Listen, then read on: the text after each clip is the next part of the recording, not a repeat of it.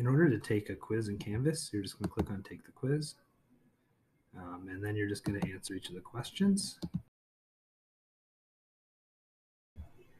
When you're done answering the questions, you're going to hit Submit Quiz.